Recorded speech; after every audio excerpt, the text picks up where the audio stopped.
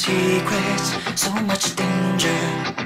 A young age, any question, just excuses, distraction. This little red hood is not enough, but grandma cannot wait. Walking in the forest, fear seems never ending. I remember.